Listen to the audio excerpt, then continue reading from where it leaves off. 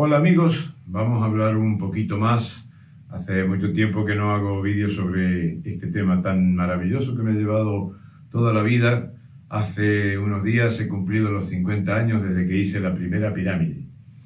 Desde que hice la primera pirámide experimental. Pasé de la teoría que empecé desde muy niño a la práctica. Mi gran pregunta, tras un gran descubrimiento realizado en 1986, eh, gracias a Roberto Balmaceda, gracias a Herminio eh, Valdez, luego al matemático eh, Herminio Sánchez Gómez. esta gente hizo, en realidad fueron ellos los que hicieron el, gran descubrimiento. yo trabajaba con ellos en el laboratorio, era mi, era mi casa, era mi, mi vida. Trabajaba, vivía para ellos y valió la pena porque llegar a descubrir estas cosas tan profundas finalmente tiene sus, sus grandes beneficios para la humanidad. Eh, en ese año 1986 descubrimos que la verdadera molécula de agua no es un H2O, sino cinco monómeros de H2O. Es decir, la fórmula del agua real es hidrógeno 10, oxígeno 5. Pero están agrupados dos átomos de hidrógeno, un átomo de oxígeno, formando una pirámide exactamente, una casualidad más, de las tantas, eh, la proporción exacta de la gran pirámide de Giza. Esa es la verdadera molécula de agua. Para mí en un primer momento, bueno, era una casualidad más de la gran pirámide, es decir, no tomé, no tomé idea exactamente en ese momento lo que estábamos descubriendo. Para mí, como antropólogo, era simplemente una casualidad más que la gran pirámide de Giza eh, tiene las proporciones exactas de la verdadera molécula de agua. Bueno, mm, claro, pero día a día, a medida que fueron pasando los días y hablábamos del tema, se le envió a Linus Pauling, descubridor del puente de hidrógeno, por el cual recibió el premio Nobel, se le envió un, un teletipo era lo que había en aquella época. Y el hombre respondió muy rápidamente que él había hecho ese descubrimiento dos años antes y nos mandó toda la descripción eh, matemática de lo que había descubierto cómo lo había descubierto. O sea, todo un procedimiento que no se lo podía sacar de la manga, es decir, que realmente el hombre lo había descubierto dos años antes. Pero por cálculos matemáticos, eh, en función de una cantidad de datos que no eran muchos, pero eran suficientes para un gran matemático y físico como él, Linus Pauling. Eh, y entonces, bueno, le adjudicamos el descubrimiento a él porque él lo había descubierto dos años antes, pero él no lo había podido probar. Lo nuestro fue, fue además una cosa totalmente empírica, es decir, en un laboratorio donde se podía hacer medición de cualitativa y cuantitativa de neutrinos y sus movimientos. Entonces, bueno, pues la molécula de agua resulta que no es un H2O, sino 5H2O. me acuerdo cuando se lo decía yo a la gente, familiares, amigos, me miraban como si hubiera fumado algo raro, ¿no? O sea, de pronto, claro, yo vivo rompiendo esquemas, hoy les, les digo que el agua no es H2O. Ya, bueno, fue el colmo para mucha gente decir, mira, no, no me hables más, nada, no bueno, es normal. Esto nos pasa a todos los científicos y a toda la gente despierta, a todos, los, a todos los que investigamos en lugar de creer todo lo que nos meten día a día, ¿no? En, por todos los medios, televisivos, radiales, prensa, libros, películas, todo, toda la gran... Vivimos en un gran engaño. Claro, los que vivimos descubriendo estas cosas, descubrir una cosa así, publicarla, bueno, por algo Linus Pauling no la había publicado cuando lo descubrió. Bueno, además le pareció que era un tema eh, anecdótico, porque al final, mm, en una gota de agua que tiene sesenta y pico mil mm, pirámides en una gota, eh, o sea, tiene unas mil moleculitas de H2O, no es, ningún, no, no es demasiado importante. A la hora de hacer un recuento de moles, ¿qué te va a sobrar? Te van a, pues como mucho te van a sobrar algunos, algunos H2O sueltos por ahí. Eh, el tema es que esos H2O sueltos, ahora ya pasando a la, a, la práctica y a las cosas que descubríamos en función de, este descubrimiento, es que eh, cuando buscamos la etiología de los reumas, de todas las enfermedades reumáticas, tenemos una sola, y es la distorsión molecular del agua. Entonces ahí empezamos a entender que si estas pirámides no están perfectamente bien formadas, no pueden atravesar las membranas semipermeables de las eh, cápsulas sinoviales. Entonces, pues entra, por ejemplo, ácido úrico, que es parte del, lubricante que tenemos en las articulaciones, pero si luego esas moléculas están alteradas en su forma, eh, no pueden, no, no, funcionan, no atraviesan, se, se, forman tapones, digamos, queda toda taponada la cápsula sinovial y ya no entra y sale lo que tiene que entrar y salir y, tenemos un reuma. Entonces, a la hora de, para él, como físico, que no tenía ni idea de temas terapéuticos, no tenía ninguna importancia. Pero para mí que me había curado de un reuma y para toda la gente que ya veía efectos, todavía sabíamos, vamos, nada en comparación con lo que sabemos ahora. Estamos hablando de una época en la que éramos muy poquita gente la que trabajaba con esto, sabíamos muy poco, eh, íbamos descubriendo paso a paso, pero no teníamos como ahora cantidad de terapeutas y médicos que nos informan de las cosas que logran con las pirámides, ¿no? Entonces, eh, resulta que más o menos en dos o tres meses, yo me voy después, después de unas semanas de este gran descubrimiento, me voy, que había que mantener ese laboratorio. Y, y cuando vuelvo y volvemos a conversar con los físicos las repercusiones de estos descubrimientos, nos quedamos asombrados, ¿no? Y, yendo al punto un poco metafísico de las cuestiones, nos preguntamos, bueno, se me ocurrió a mí, o sea, si la pirámide eh, molecular del agua, principalmente, no exclusivamente, que también el carbón, también otras, otras estructuras eh, empiezan con una forma molecular piramidal, de diferentes proporciones, todas muy parecidas, ¿eh? todas muy cercanas, pero no iguales. Tenemos la misma situación que en las grandes pirámides de Egipto, donde cada pirámide representa un tipo de material. La gran pirámide de Giza representa, sin duda, la molécula de agua. Las otras dos, la de Jafra y Menkaura, o sea, Kefren y Miserinos, eh, tienen otra, pertenecen a otras estructuras parecidas. Por ejemplo, la, la pirámide roja de Dasur, con sus proporciones exactas, la, la pirámide molecular del carbón. Eh, la, la, acodada representa, es acodada realmente porque esa es la estructura molecular y la forma molecular que tiene cierto mineral, que nunca me acuerdo el nombre, parecido a la malaquita. Pero bueno, son estructuras microcristalinas que empiezan con una estructura molecular de, forma piramidal, es decir, que prácticamente todo en la vida mineral ¿cómo la vida mineral? Si los minerales no tienen vida, sí que tienen vida. Y ahí es donde empezamos al entender que la pirámide es el transductor entre el campo eh, cuántico al campo mm, atómico, es decir, las partículas cuánticas componen el, universo atómico, pero eh, estamos hablando de diferencia de dimensiones de millones, a veces miles de millones, a veces cientos de miles de millones de diferencia de tamaño y o de masa, depende de lo que hablemos.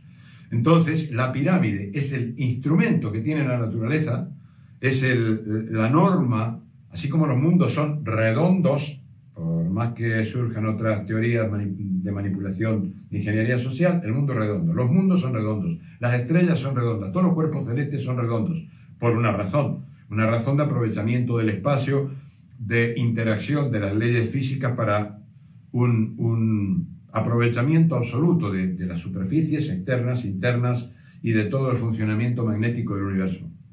También las partículas lo son. Hay una teoría vibratoria, hay una teoría ondulatoria y una teoría corpuscular. Bueno, eso es una absoluta estupidez. Eh, existen las dos cosas, es decir, el universo está formado por cuerpos de diferentes dimensiones, pero también tienen su vibración y tienen su ondulación como la Tierra tiene su forma redonda y tiene su traslación, pero también su rotación y también un movimiento que podría decirse que es ondulatorio, no solo alrededor del Sol, sino en el contexto general de la galaxia. Bien, lo mismo ocurre en el campo atómico.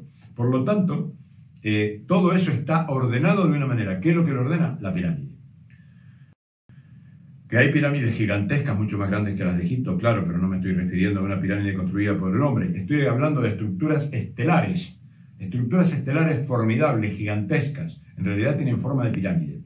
Esto se, nosotros lo tenemos descubierto teóricamente, pero no tenemos un telescopio como para demostrarlo. ya se demostrará, falta muy poco tiempo para esto, porque al final es como las matemáticas. Está la teoría de que si uno más uno es dos y dos más uno es tres, pues seguramente que si le agregamos uno será cuatro. Bueno, pues un poco así. No tenemos todavía el cuatro dibujado, pero sabemos lo que viene. Sabemos que en poco más el tema de la pirámide se va a conocer en muchos otros órdenes. No obstante, en 1986 me surgió aquella pregunta en la segunda, meses después del descubrimiento. ¿Qué fue primero? ¿La pirámide o la vida? Porque sin pirámide no hay vida. O sea, todo el mundo está pensando en aquello, ¿qué fue primero, el huevo o la gallina? Pues mira, tiene muy poca importancia a efectos prácticos. Seguramente que tiene una importancia, en algún momento tendremos que descubrir que fue primero el huevo o la gallina. Yo creo que lo tengo resuelto como antropólogo también. Eh, sin huevo no hay gallina. Es decir, el huevo tiene que ser lo primero, aunque porque una gallina no la puede fabricar un árbol, pero un árbol sí puede fabricar un huevo, es decir, en el humus en, en, un conjunto biológico se puede producir un huevo y ese huevo puede dar lugar a diferentes especies. De hecho, se han descubierto. Eh, no fui el primero, pero sí, cuando los encontré, me encontré luego en la investigación con un grupo muy selecto de biólogos que están en ese tema.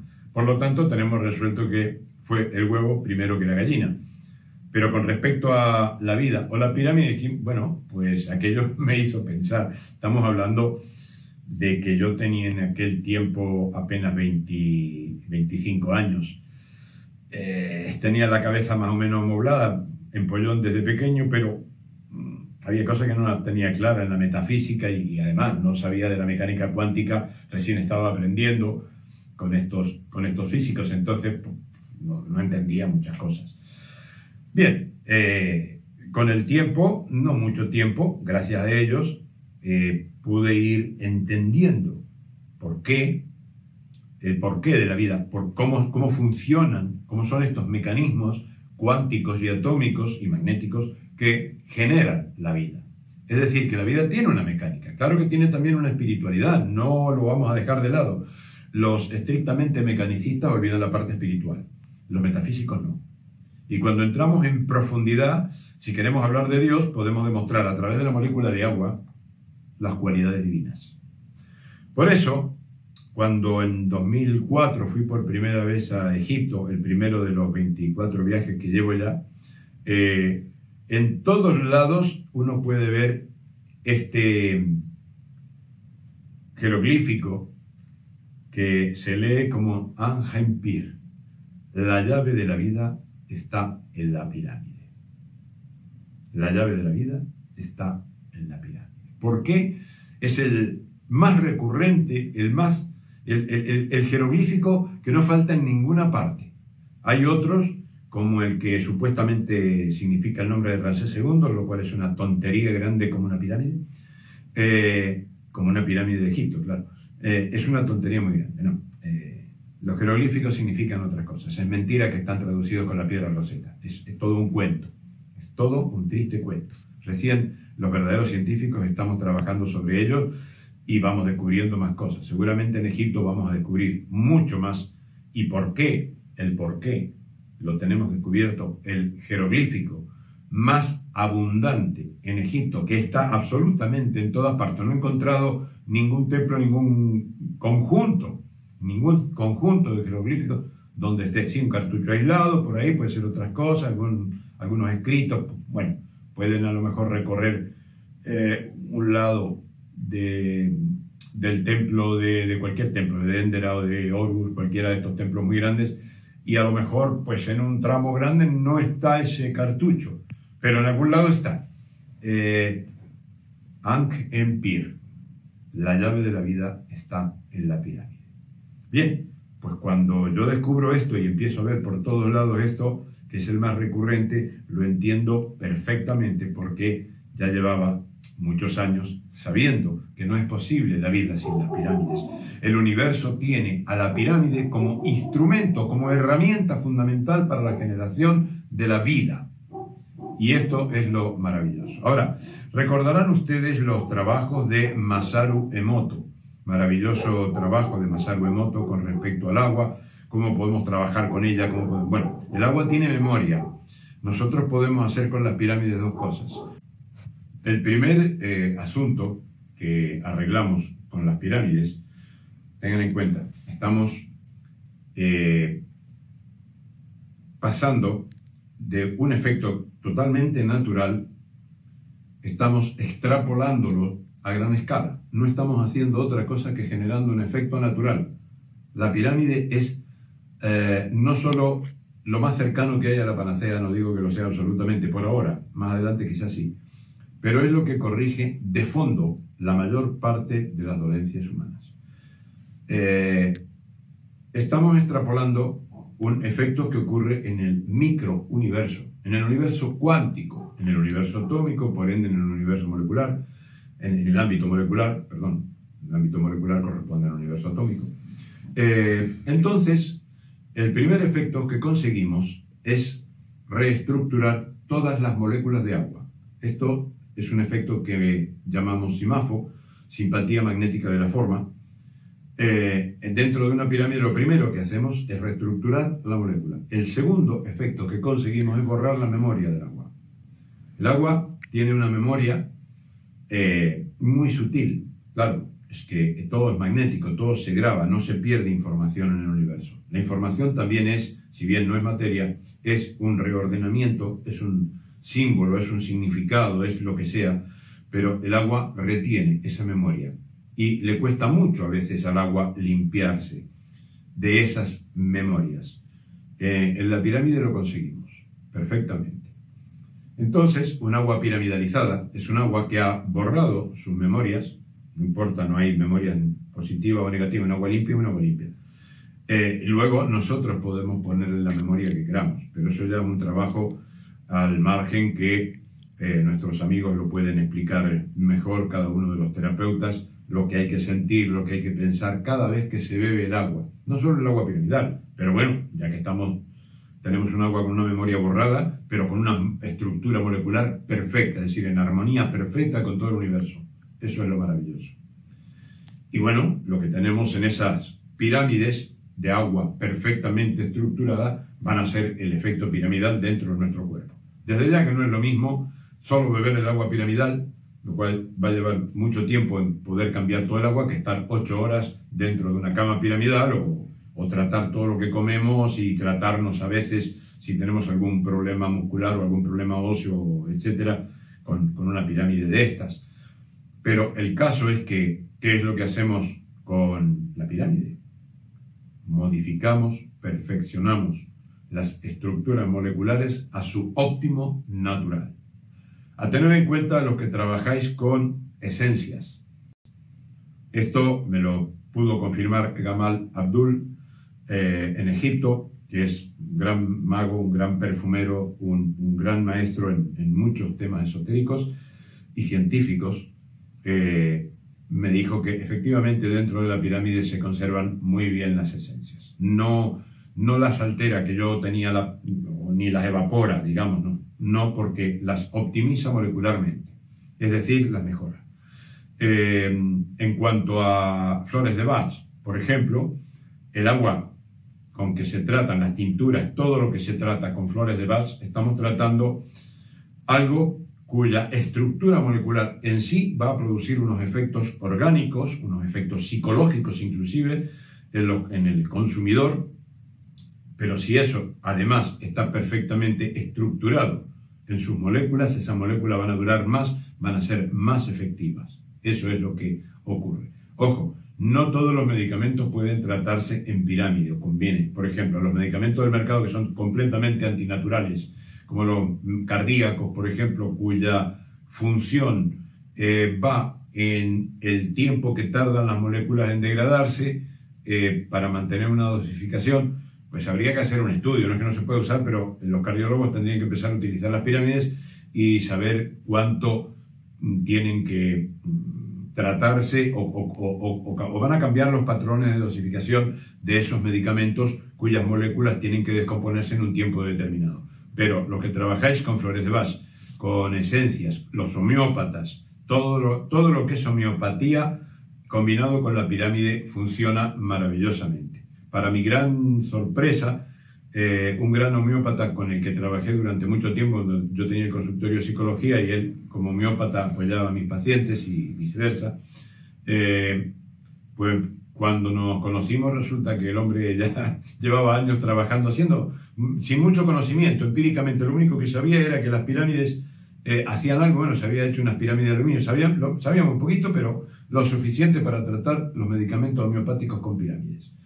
Y conseguía, lógicamente, a ver, no reemplaza, la pirámide no va a reemplazar la dinamización que se le tenga que dar, pero sí notaba en la estadística una gran mejora en los efectos. Por lo tanto, las flores de Bach son algo muy parecido a la homeopatía.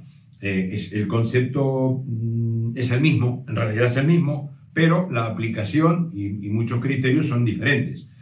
Eh, va a funcionar igual. Estamos hablando de algo que va a corregir no solamente la molécula de agua, solo que la, molécula de agua es la más, la más vital, la más fundamental y la más maleable, pero finalmente terminan corrigiéndose todas las moléculas, inclusive moléculas estructurales de materiales combinados, eh, plásticos, eh, todo, absolutamente todo. En fin, eh, por favor, no creáis nada de lo que digo, practicad, investigad. Esa es la cuestión. Aquí no se trata de, esto no funciona por la fe, funciona, sí, no estamos negando el efecto que nosotros generamos cuando estamos tratando el agua, digamos ese efecto Masaru Emoto, ¿eh? Que nosotros en, una, en, un agua piramidalmente tratada eh, podemos imprimir mucho más limpiamente, como quien agarra un papel limpio y empieza a escribir en lugar del papel sucio que puede ser cualquier agua, inclusive el agua, por ejemplo, tratada con cloro y con eh, flúor y otras cosas, eh, dentro de la pirámide todo eso desaparece enseguida. Porque resulta que como es todo eh, metido en el agua de los grifos, el agua de consumo mundial prácticamente, en estado iónico, eh, como radicales libres, entonces la pirámide lo primero que hace es barrerlo. O sea, en tres días eh, prácticamente todo el cloro y el, y el flúor que hayan puesto en el agua se va.